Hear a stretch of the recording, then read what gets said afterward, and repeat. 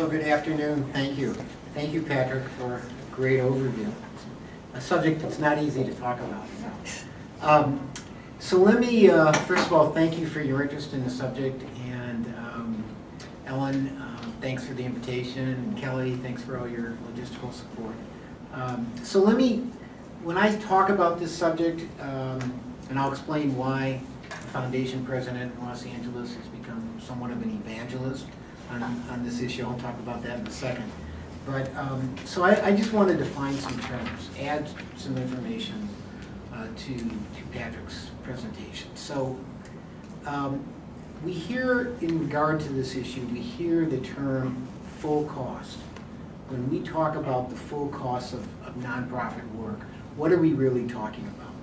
We're talking about operating expenses, which include direct and indirect costs, indirect or overhead costs. We're talking about annual debt repayments. We're talking about depreciation expenses. And we're talking about fixed asset purchases. So when you think about, when you hear people like myself using that term full cost, that's what we're talking about. Everything that um, is required of a nonprofit to achieve its mission. Now, overhead, overhead, first of all, is not an accounting term. It's a construct of really the nonprofit sector. Um, um, But generally speaking, when people talk about overhead, they're talking about indirect costs. And it- this includes rents, utilities, technology, administration, professional fees, and other expenses that are not tied to any one program, but are vital to sustaining a healthy organization. So those are the things that you can't tie to a specific program, but the nonprofit organization, in this case, needs to, um, um, needs to maintain a healthy and uh, impactful organization. Now, just again adding to Patrick's presentation, I want to make sure also get into a little bit more detail and explain exactly what this new OMB rule says. What it basically says is that any grantor or contractor of federal funds, be it a federal agency or a state agency or a local government, has to do one of three things. It has to, number one, if there is an approved indirect cost rate from the Office of Management and Budget, it's got to honor that indirect cost rate. Has anyone ever in another life gone through the process of, of, of applying for an indirect cost rate? You're all lucky. Uh, In another life, I did that, and it's an arduous process, it's not a very fun process, and that explains why a lot of smaller to mid-sized organizations don't have approved indirect cost rates. So that's the first thing. The second thing the rule says, if you don't have an indirect cost rate, but you want to negotiate one, you've got to give the organization that opportunity to do that. Or the third, which is the default position, you have to provide at least ten percent. So if you're an organization, and I'll use the organization that I frequently talk about, there's a large organization in Los Angeles called uh, the Youth- the Youth Policy Institute. They have a federally approved indirect cost rate of twenty-seven percent. Twenty-seven percent, okay? Huge provider of services in Los Angeles. By the time a grant from the federal government goes through the state of California and comes out the other end through the city of Los Angeles, the indirect cost rate that they get is four percent. Okay, so that twenty-seven, this goes to Patrick's comment, everyone is taking a bit of that to fund their own operations. So if implemented correctly, what the new OMB rule says, you can't do that anymore. That, that's, that city agency, or that county agency, or if it's a direct grant from the state, is gonna have to honor that rate. So that's, that's more specific, specifics about what that rule really says, and that's why Patrick correctly described it as, as a game changer for nonprofit organizations. So, let me talk about why an an institution like the Weingart Foundation is even interested in this. I hope that you'll leave today thinking that maybe this is something worth, worth looking at. So Weingart is a responsive grant maker. Um, we're primarily focused on building the organizational effectiveness of our grantees. And our grantees are primarily working in human services, health, education. We fund a fair number of advocacy organizations as well. All of our grantees are working in or for low-income underserved communities. Over 60% of our annual grant making, approximately 30 to 35 million dollars a year, is made through unrestricted core operating support grants, so about 60%. And it's really based on a conviction at our foundation that we believe providing unrestricted funding to reasonably well-led and well-managed and financially stable organizations is one of the best ways to build organizational capacity and sustainability.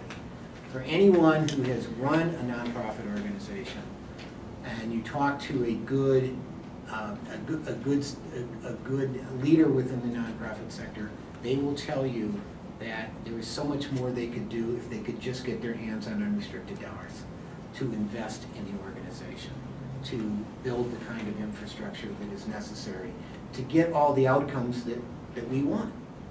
Um, it's the nonprofit starvation cycle. So within Weingart, for many years, we have reimbursed um, the administrative and indirect costs of our grantees on program applications. In fact, we have instructed for a number of years our program officers that when they are looking at a program proposal, program, new program development, for example, and they don't see an administrative cost rate or they don't see an indirect cost rate, that they're to ask for it because something is wrong here, and also because we know that most nonprofit organizations, quite frankly, don't think they can ask for it, don't think they can show, show it, either because the funder has specific guidelines that says you can, or the culture in the sector is such that they assume you cannot. So we instruct our program officers, ask for it, because it's important, because that organization is not going to get the outcomes we're looking for unless it's building healthy infrastructure.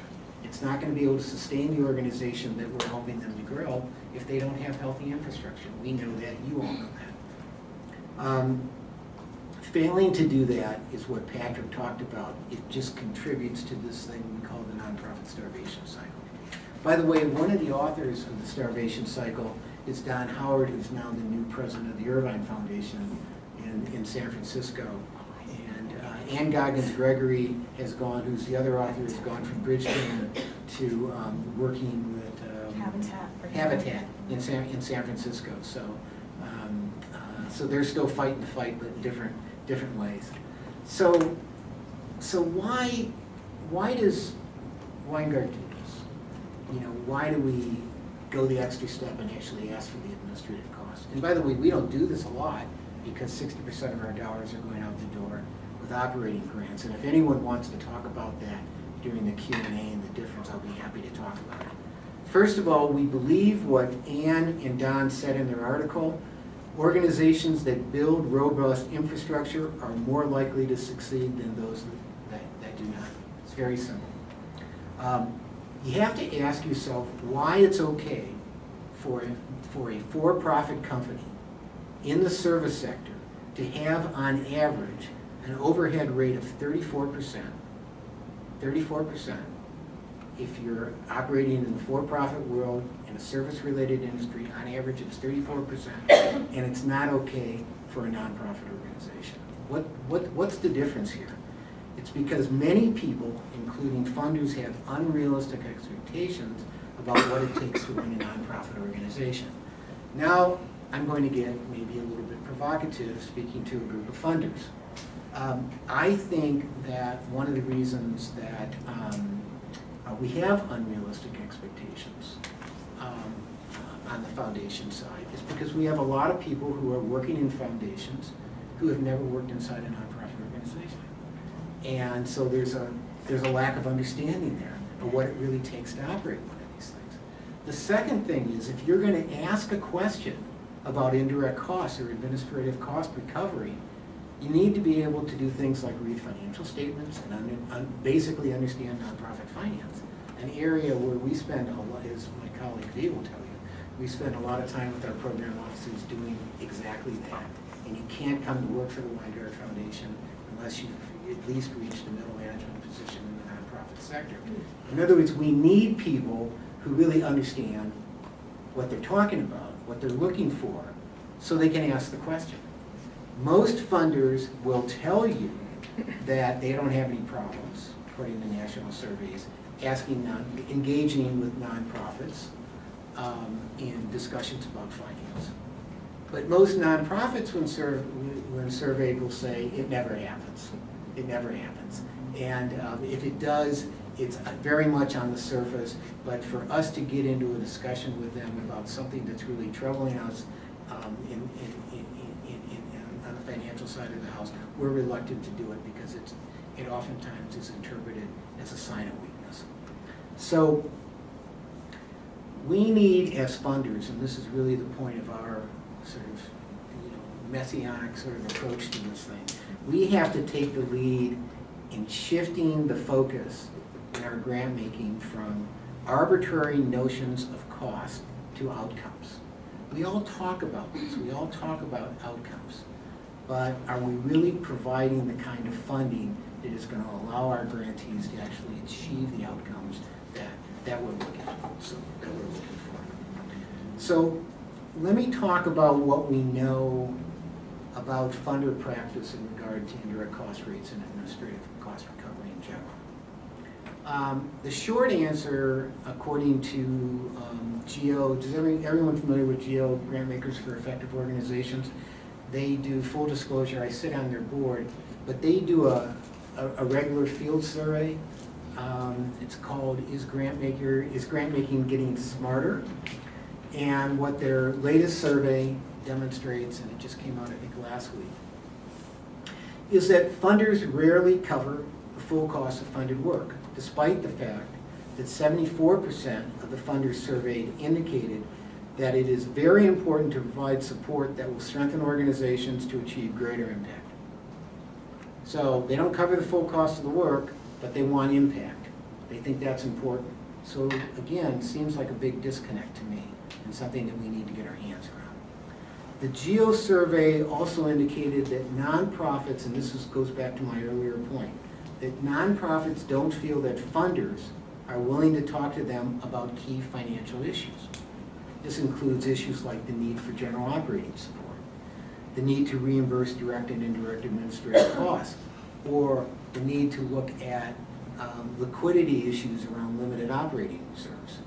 One of the things that um, um, one of the things that we have done at the Weingart Foundation, and this really came to the fore in the aftermath of the, uh, of the financial crisis, is we started noticing the limited liquidity that most of our grantees had, especially coming out of that crisis. 70 to 80 percent of our grantees at one point, um, soon after that crisis, had less than three, had, had less than three months uh, of unrestricted cash on hand, and many of them had had significantly less. And these were organizations, by the way, that were providing critically needed services. So in an attempt to provide full cost funding, what we did is we instructed our program officers, when you see that on the financial statements, get into a discussion with the executive director about that, ask about that. And if there is a willingness on the part of that grantee, we will take a portion of our core support grant and restrict it for placement in an operating reserve if it's, if it's matched and if there is board policy passed for the use of those, the use of those dollars. It has been wildly successful. I mean, people, again, looked at us and said, you're providing funding to replenish operating reserves? And we said, yes, because if we're gonna, if these organizations are going to achieve the kind of impact that we're all looking for, we need to do that. They need to have those dollars to invest in themselves, they need to have those dollars um, to uh, withstand the, the rainy day when, when, when it comes. So, um, so, so let me turn, and I know we're covering a lot of material here, I, I think there's time for questions and answers, right? Um, so, um, let's turn specifically to what we're attempting to do in California around this issue. And it's really a two-pronged strategy. Um, first of all, uh, we have attempted to learn from what the Donors Forum in Illinois has done for the last couple of years. Some of you may be familiar with this. Where they began looking at the over, overhead full cost issue a couple years back. The Donors Forum, is everyone sort of familiar with the Donors Forum? It's a unique organization in that um, the Grant Makers Association and the Nonprofit Association have come together under the same roof, and it's in Chicago. And um, so they began, um, essentially formed what um, a learning community to start looking at funder practices around, around overhead and administrative cost recovery in general. And um, it's, it, you know, revealed a lot of things and I think provided funders with a lot of information on how their grant-making practices may, may actually be hurting the grantees they're trying, they're trying to help. So we, and people like Ann Goggins Gregory was involved in this and, and, and, and we became involved as well. So we have attempted to model our strategy in California to, to at least learn from their lessons and not repeat some of the mistakes they made, and certainly try to, um, to try to repeat the things that, that, that they demonstrated were positive. So, um, in, um, in, in, in California, what we are what we are attempting to do is use the OMB rule as an opportunity, even though this applies to federal dollars, we want to use the OMB rule as an opportunity to, um, um, to get private funders together, and I'm talking specifically now foundations together, to examine their own, their, their own practices in regard to this issue. So I'm going to take a slight break here, and I'm going to ask my colleague V. Lynn, who is our Director of Special Projects in, in Los Angeles, who's following this issue real carefully, to explain a very unique sort of approach that's coming together with the three regional grant maker associations in California to look at this issue. So I'm just going to step aside for a second. She's a much better speaker than I am.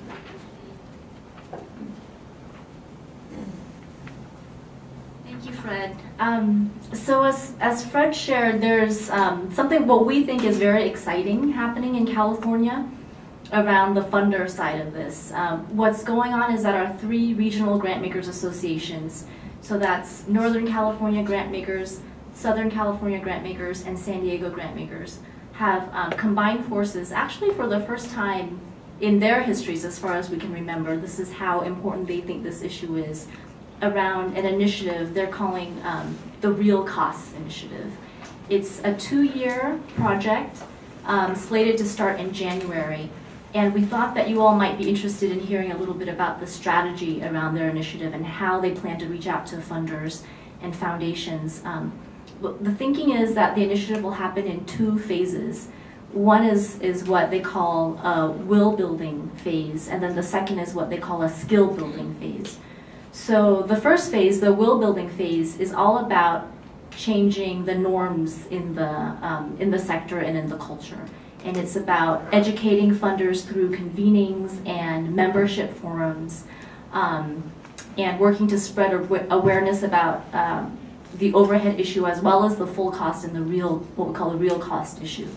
So a key part of that first phase is actually going to be um, something that we think is, is pretty smart. It's going to start with what's called a small uh, sort of advisory board of core funders, including the Weingart Foundation, who um, are interested in being sort of early adopters to this. So funders who um, believe in the issue um, enough to actually look at our own practices and our own policies and um, applications, for example, and our due diligence practices and the skills of our staff as well, and really work together to think about, well, if we were to change our own practice to support full cost, what would that look like? And what are the barriers that a funder would face in doing something like that? So this um, sort of early adopter special committee is going to function as a peer learning community. It's going to function as a hopefully a leadership body to move the rest of the sector a little bit. Um, and then it's also going to, we're, we're going to be sharing our learnings during this practice, really identifying what are the barriers that foundations would face if they wanted to take this on in, in the nitty gritty sense. Um, and then also developing sort of core messaging for the initiative as it moves forward. So thinking about what would really be strategic to move other foundations. So that's that's what we call sort of the, the will building phase.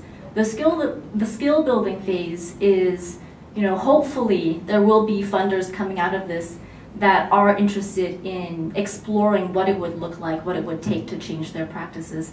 So the, um, the RAGs, the Regional Grant Makers Associations, from the first phase, they're going to be sort of learning from the process, developing a very targeted curriculum um, that they would use in the skill buildings phase, which would actually provide pretty concrete trainings to foundation staff, for example, foundation executives, even foundation board members, about what is full cost, how do you read a budget in, from that perspective, how do you talk to nonprofit applicants from that perspective.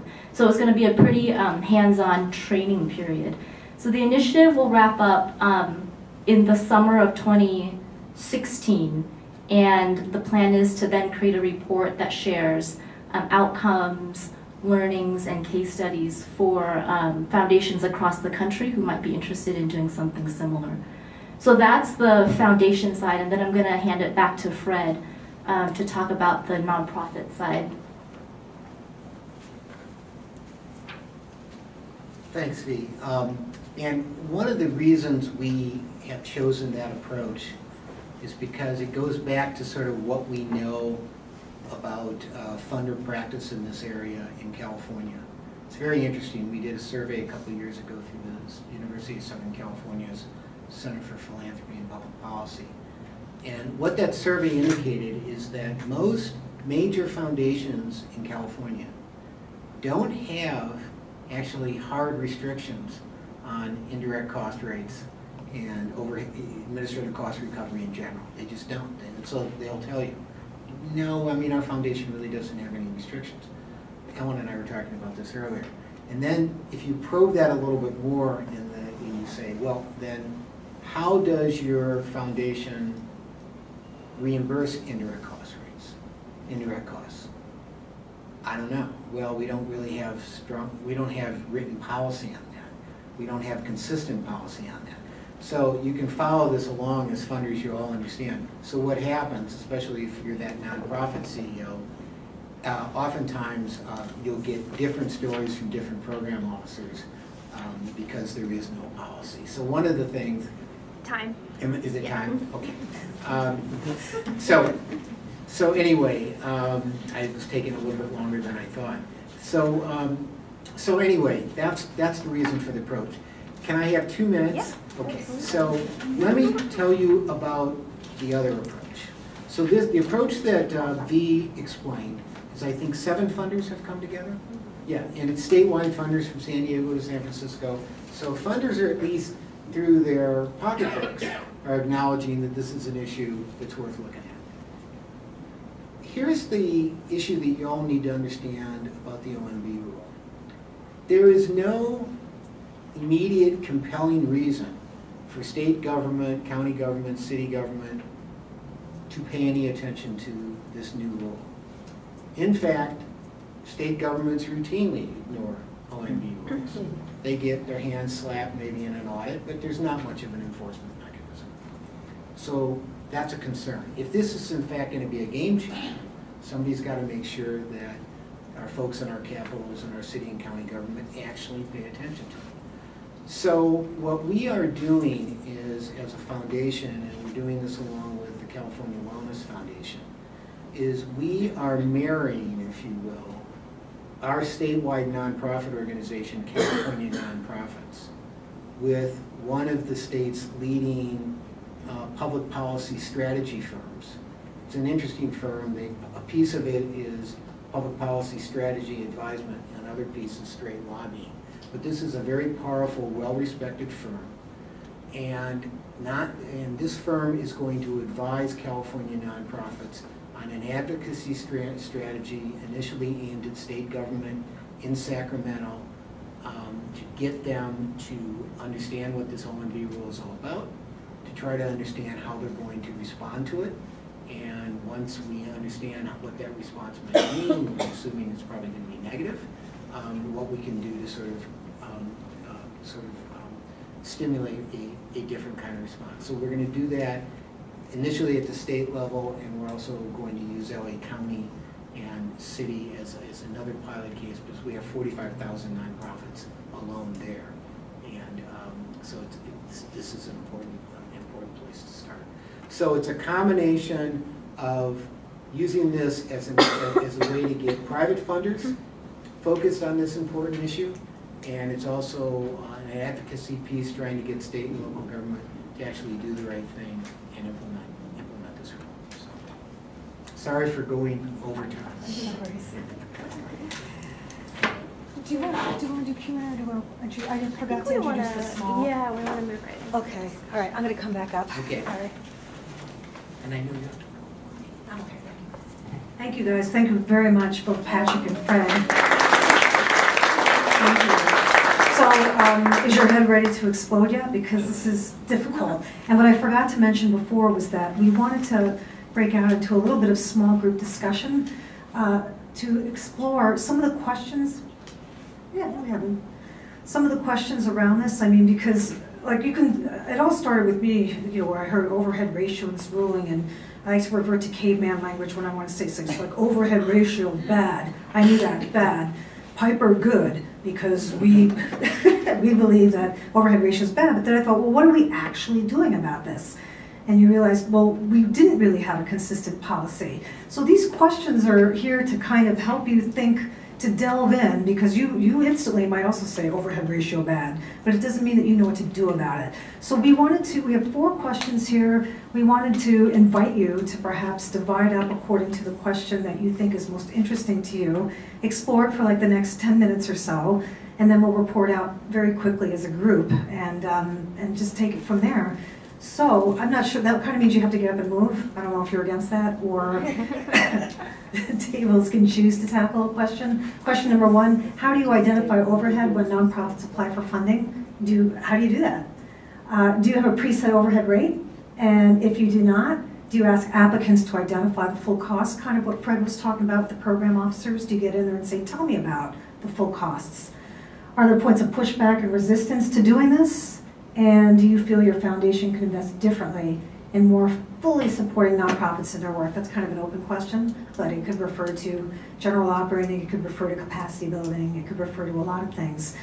So um, maybe what we'll do is we will designate uh, tables one, two, three, and four. Tell me if you're against this, and you have to move according to which table you want to do. That would be table one, two, and back there three and four, or you can just pick amongst your tables right now a question you'd like to tackle. Do you Just prefer the latter? amongst, yeah. Okay. So I leave it to you guys to make a determination what you want to talk about. And really, any of them are fair game. And if they got through one, they could go on to two. If Yeah, they're let's overly ambitious, they could do more than one. Yes. So please, uh,